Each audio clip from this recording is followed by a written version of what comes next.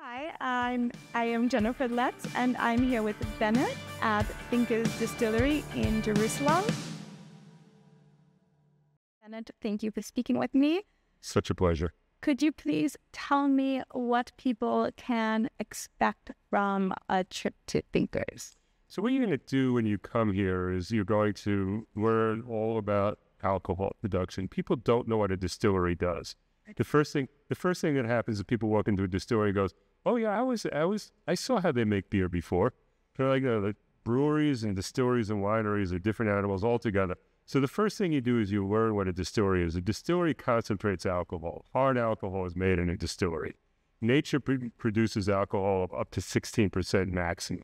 Okay. And and we won't go into the reasons for that. And a distillery basically concentrates that and turns it into something more, as much as 96.5% alcohol. Okay, and this is what I'm drinking to have a fun time. Well, you know, you can drink anything you want to have a fun time, but but but but spirits are what most people want to drink. It's the hottest industry in the world, and it has been for very many years. And what is special about your spirits? We specialize in what, what we call furthering, which means figuring out what everybody else is doing and figuring out what we can do to make it better. And you do this very scientifically, yes? It's funny because it's all science. Hmm. You know, if, you know, if you ask Picasso why did he do this or why did he do that, he wouldn't give you a scientific answer. He would tell you, "Well, I like this color and I like this flourish." But here, you're unabashedly just dealing with chemistry, and if, and that's all you're dealing with. So, so you're always in the chemistry. You're always talking about what are, what are we doing with this alcohol because there are a lot of different kinds of alcohols. There's 13 different kinds of alcohols. What are we doing with this? I drink. Uh, not in the drink that you're drinking here, but in every other drink you have. Okay, explain that more. So I'm having a vodka tonic at, you know, my local bar in Harlem. And you're telling me there's a whole mix of alcohols other than ethanol, which is the primary one. That's correct. And in your alcohols and your spirits, I don't have that. you you have far fewer. We don't take all of the all of them out. These these are these are what are called in, in chemistry terms congeners. A congener is nothing more than a molecule that's so similarly shaped to another molecule that they become they become attached to each other. Oh, That's nice. Like friends, except some of them are really awful. okay. Like like like acetone, although acetone has its purposes in the universe. I'm not trying to take away nail polish remover from its fu- function. Thank you. but it's not something that you actually want to put in your mouth and swirl around and swallow. Yet all of the spirits out there have acetone in them. Ours does not. Methanol, which has no taste and flavor, but is probably the cause of hangover.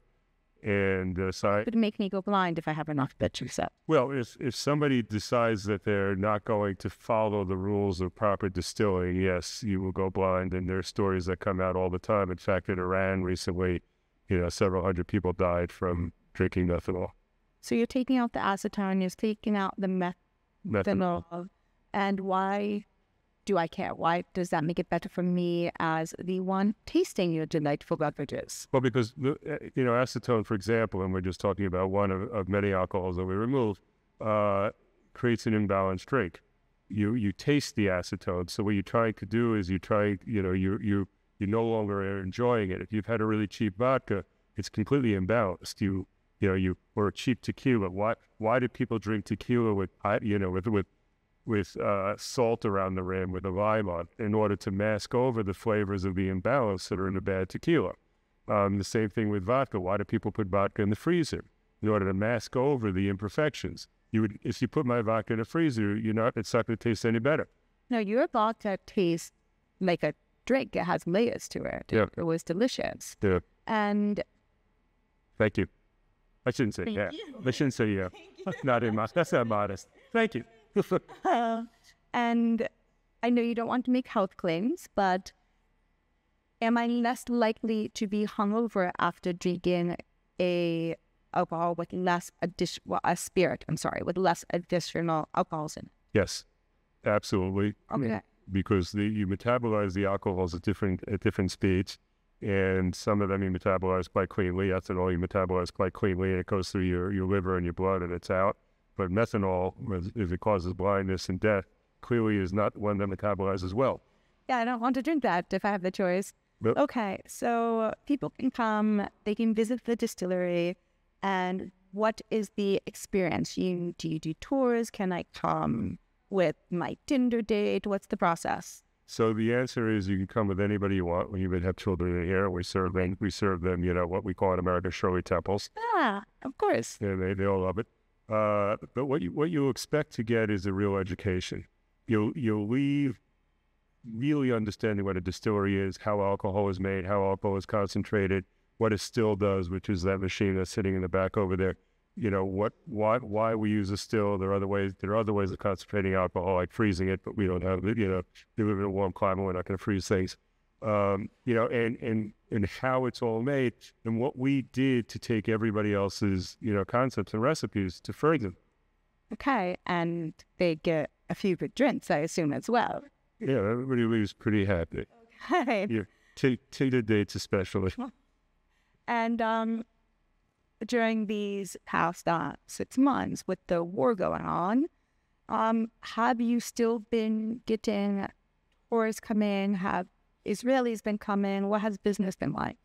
Well, for the first three months, you know, from October to December, business fell off a cliff completely. We we lost we lost an enormous amount of money. Uh, it started to pick up in January, and now in, in, in March and April, we're back to where we were. In fact, even better. Uh, business is stronger. But we, we, we've been using the time to to be as as supportive as we possibly can uh, for our troops and for the people who have uh, who have suffered as a result of the war that that we're experiencing. Uh, we've we started with a beef jerky program.